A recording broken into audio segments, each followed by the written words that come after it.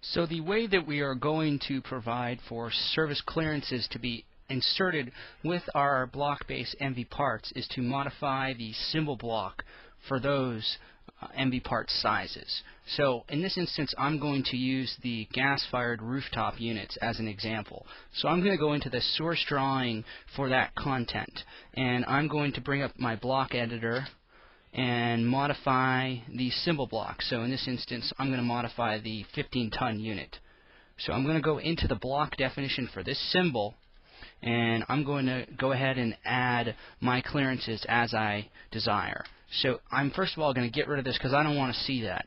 And then the second item here is we have lines that are outlined here. So we want to keep these in, but we don't actually want to see them when we insert it as part of our block because this is the same outline as the actual outline of the, the unit itself.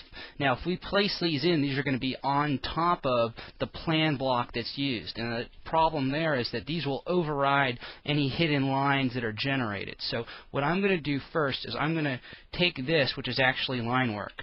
I'm going to go ahead and delete it. I'm going to make a polyline in its outline. And then what I'm going to do is I'm going to delete these lines. So now that all we have left is just one polyline. So what I'm going to do is by default, I'm going to switch over here to just a standard template-based drawing here.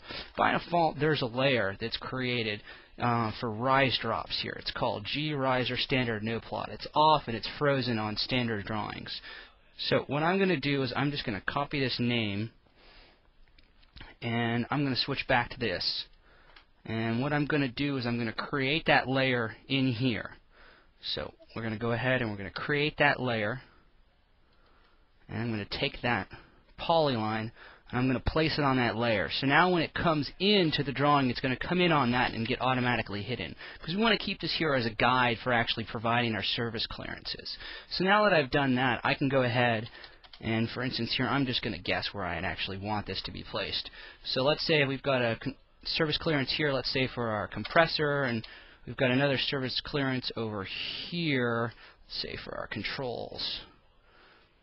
Now, the important thing here is I can go ahead and I can set line types here, and these line types will carry over into the part. So uh, right now we actually don't have the line type loaded, so I'm going to go in here. We're going to load in our line type. So I'm just going to load in hidden line type and just use that.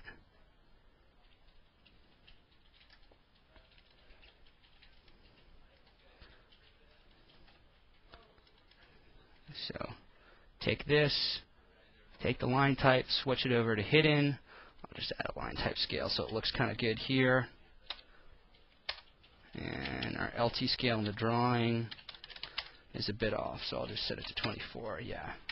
So there you go. You can see that they're there. Now the important thing is that this is going to carry over, and also the color is too.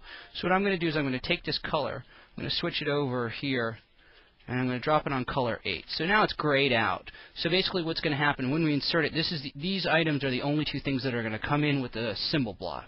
So now that I've made these changes to the block, I can save it. And the changes have been made here. So if I switch back to my template-based drawing and I want to go ahead and insert that block, or insert that piece of equipment, I can switch over here, choose to insert the equipment,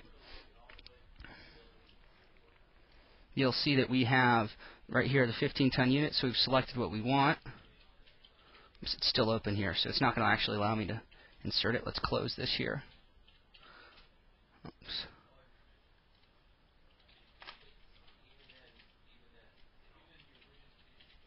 So we've made the changes. Now we can go back in here and try to insert it here. So we can place it in the drawing. Now the important thing here is we haven't turned on the schematic viewing. So if I go into my display manager, because right now MEP Design does not have the schematic display representation turned on.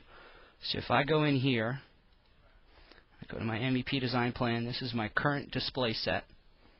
I go into MV Parts, you'll see that we have plan turned on, but schematic is not. So if I turn on the schematic view, so we've got two display representations active go ahead here and you'll see that this displays. Now again, the important thing here is since we put our outline to the unit on a non-visible layer, I can go ahead and I can place ductwork on top and it's going to halo properly. Now again, this isn't going to halo itself, but you can choose whatever color you want to put your clearances on. But this should allow you to have your own content with clearances built in and displayed with the correct line type.